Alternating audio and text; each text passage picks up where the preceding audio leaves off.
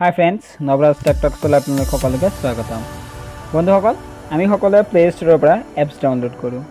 কিন্তু আমিও যদি এই এপছখিনি বনাব পাৰিলোঁ হয় কিমান মজাৰ কথা হ'ল হয়। বন্ধুসকল মই আজি আপোনালোকক এই ভিডিঅ'টোত উইদাউট কোডিং মাত্ৰ পাঁচ মিনিটত এণ্ড্ৰইড এপ কেনেকৈ বনাব লাগে সেই বিষয়ে ক'বলৈ গৈ আছোঁ। যদি আপোনালোকেও এই এণ্ড্ৰইড এপ বনাব বিচাৰে তেন্তে মোৰ এই ভিডিঅ'টো স্কিপ নকৰাকৈ সম্পূৰ্ণ শেষলৈকে চাই থাকিব। এতিয়া ব'লক বন্ধুসকল ভিডিঅ'টো ষ্টাৰ্ট কৰোঁ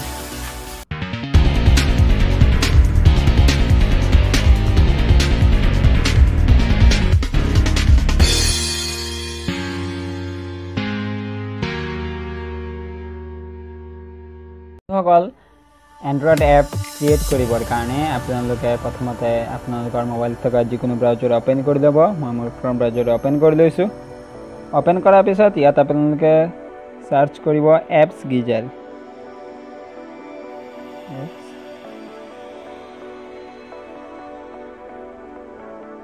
app geyser first যিটো লিংক লিংক হয় এপ গিজাৰ ডট কম এই লিংকটো আপোনালোকে ক্লিক কৰি দিব এই লিংকটো মই ভিডিঅ'টো ডেছক্ৰিপশ্যনটো দিম তাৰপৰা আপোনালোকে অ'পেন কৰিব পাৰে এই লিংকটোত মই ক্লিক কৰি দিছোঁ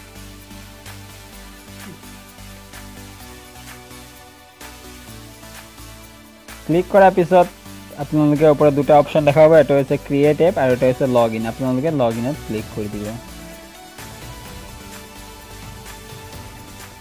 লগ ইনত ক্লিক কৰাৰ পিছত আকৌ আপোনালোকে দুটা অপশ্যন দেখা পাব এটা হৈছে ৰেজিষ্টাৰ এটা হৈছে চাইন ইন গতিকে আমি যিহেতু নতুনকৈ আমি লগ ইন কৰিম বা নতুনকৈ আমি এপিজেড খুলিছোঁ তাৰ কাৰণে আমি কি কৰিম ৰেজিষ্টাৰত ক্লিক কৰি দিম। ক্লিক কৰাৰ পিছত ইয়াত আপোনালোকে কোনটোৰ সহায়ত লগ ইন কৰিব দুটা অপশ্যন দিছে এইটো হৈছে ফেচবুক আৰু এইটো হৈছে ইমেইল মই চাইন আপ উইথ ইমেইলত ক্লিক কৰি দিছোঁ। ক্লিক কৰাৰ পিছত ইয়াত আপোনালোকৰ যিটো ইমেইল আই ডি হয় সেই ইমেইল আই ডিটো আপোনালোকে ইয়াত দিব লাগিব। মই মোৰ ইমেইল আই ডি ইয়াত দি দিছোঁ।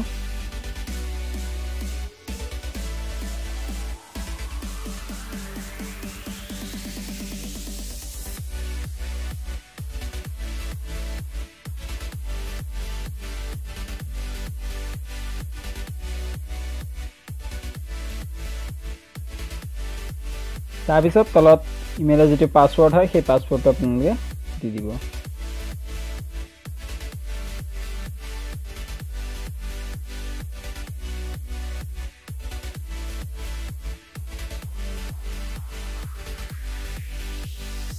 আপোনালোকে ইয়াত দুবাৰ পাছৱৰ্ড দি দিব লাগিব। ইয়াত দেখিছে ৰিটাইপ পাছৱৰ্ড আপোনালোকে আপোনাৰ পাছৱৰ্ডটো টাইপ কৰি দিব।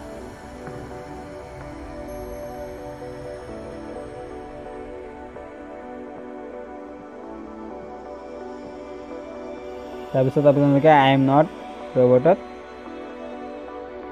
ক্লিক কৰি দিব। ক্লিক কৰাৰ পিছত চাইন ইনত আপোনালোকে ক্লিক কৰি দিব।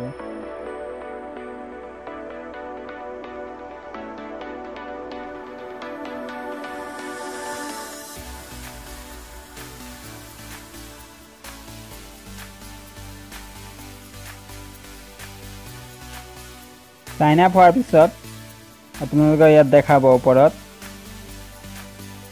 পাছৱৰ্ডটো ছেভ কৰি নিদিব you have no' app create your first app now আপোনালোকে ইয়াত কি কৰিব ক্ৰিয়েটত ক্লিক কৰি দিব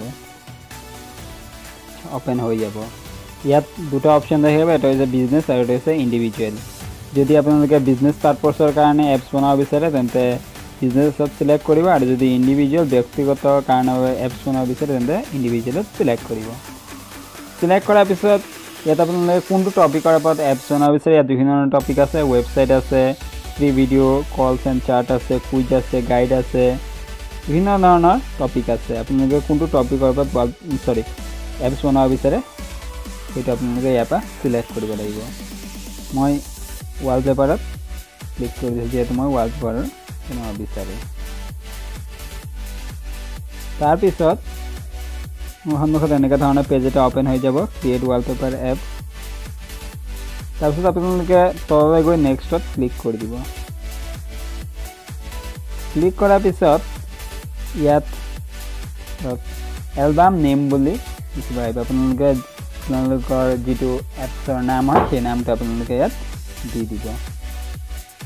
যিটো নাম প্লে ষ্ট'ৰত নাথাকে সেই নামটো দিব যাতে আপোনালোকে প্লে ষ্ট'ৰত সেই এপছটো যদি পাব্লিছ কৰে তেন্তে আপোনালোকৰ ফ্ৰেণ্ডৰ সেইফালে ৰেগুলাৰ কোনো প্ৰব্লেম নহয় মই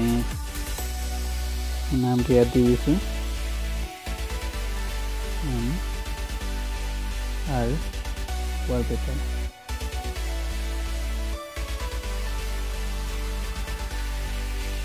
তাৰপিছত আপোনালোকক তলত দেখা পাইছে add image drop your image here এটা আপোনালোকে আপোনালোকৰ এটা ইমেজ দিব লাগিব। চিলেক্ট ইয়ৰ ইমেজত ক্লিক কৰিব। ক্লিক কৰাৰ পিছত ব্ৰাউজত ক্লিক কৰিব। আপোনালোকে যিটো ইমেজ দিব বিচাৰে সেইটো আপোনালোকে ইমেজ দিব পাৰে।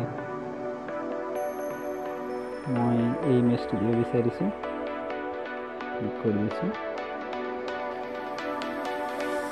ক্লিক কৰাৰ পিছত ঘৰত গৈ নেক্সটত ক্লিক কৰি দিব।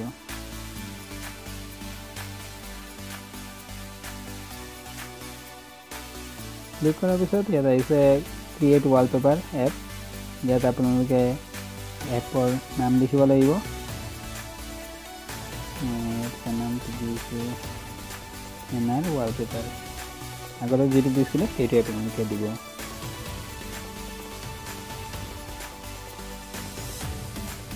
তাৰপিছত আকৌ আপোনালোকে নেক্সটত ক্লিক কৰি দিব। নেক্সটত ক্লিক কৰাৰ লগে লগে আপোনালোকৰ ইয়াত আইকন দিবলৈ আহিব। ডিফল্ট আইকন ইয়াত এটা আইকন দি থোৱা আছে সেই আইকনটো আপোনালোকে দিব পাৰে। বা আপোনালোকে যদি নিজৰ আইকন দিব পাৰে বা নিজৰ লগো আপোনালোকে দিব পাৰে তাৰ কাৰণে কি কৰিব কাষ্টম আইকনত ক্লিক কৰিব। ক্লিক কৰাৰ পিছত আপলোড এনেকৈ ইয়াৰ পৰা আপোনালোকৰ ইমেজটো চিলেক্ট কৰিব যিটো ইমেজ আপোনালোকে দিব বিচাৰে সেইটো এইটো দিছে। আপোনালোকে ক্ৰপো কৰিব পাৰে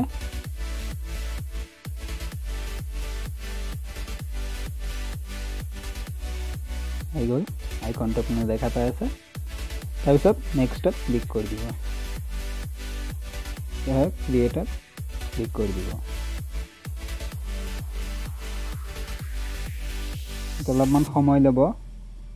আপোনালোকৰ যিটো এপ বনোৱাৰ কাম হয়, প্ৰায় ছেভেণ্টি পাৰ্চেণ্ট কাম আপোনালোকৰ শেষ হৈছে। ইয়াত ওপৰত দেখা পাই আছে, এন আৰ ৱালপেপাৰ বুলি আহিছে। তাৰ লগতে ডাউনলোড এটা চিম্বল দি আছোঁ, তাত আপোনালোকে ক্লিক কৰিব।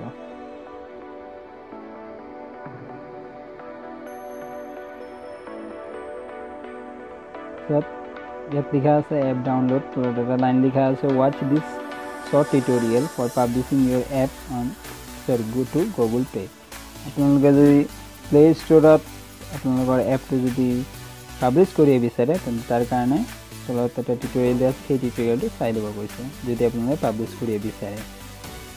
পাব্লিছ কৰি আছোঁ মই পাব্লিছত ক্লিক কৰি দিব। যদি আপোনালোকে সেই এপটো ডাউনলোড কৰিব বিচাৰে তেন্তে ইয়াত ডাউনলোডৰ চিম্বল আপোনাৰ দেখা পাই আছে ইয়াত ক্লিক কৰিব। তলত এটা কিউ আৰ ক'ড দিয়া আছে। এই কিউ আৰ ক'ডটোৰ সহায়ত আপোনালোকে স্কেন কৰিব পাৰে আপোনালোকৰ এপটো দেখা পাব। তাৰপিছত তলত এটা লিংক দিয়া আছে। Your user can download your app আপোনালোকে এই যিটো লিংক হয় এই লিংকটো ফেচবুক বা টুইটাৰত শ্বেয়াৰ কৰিব পাৰে। মই ডাউনলোডত ক্লিক কৰি দিছোঁ। প্ৰেছ অ'কে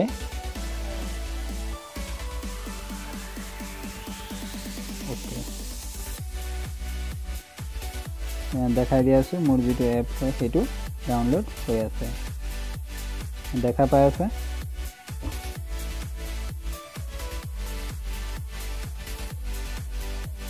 ডাউনলোড হৈ গ'ল।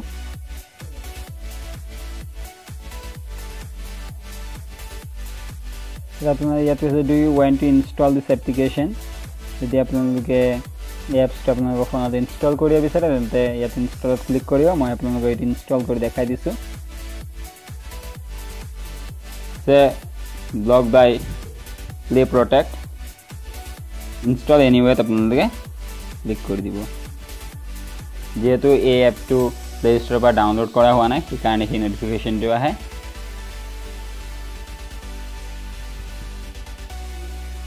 অলপমান সময় ভিডিঅ'টো স্কিপ কৰি দিছোঁ যে ভিডিঅ'টো লম্বা নহয়। আপোনাৰ দেখা পাই আছে এইটো ইনষ্টল হৈ গৈছে। দেখাই দিছোঁ। এইটো ইনষ্টল হৈ গৈছে। এইটো যদি আপোনালোকে অন কৰে অন কৰি দিছোঁ এনেকুৱা ধৰণৰ ইণ্টাৰফেচ দেখাই দিব।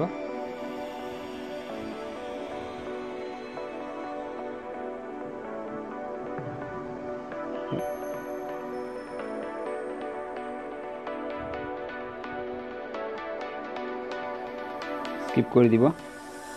তাৰপিছত আপোনালোকৰ সন্মুখত এনেকুৱা ধৰণৰ ইণ্টাৰফেচ আহিব আপোনালোকে দেখা পাই আছে।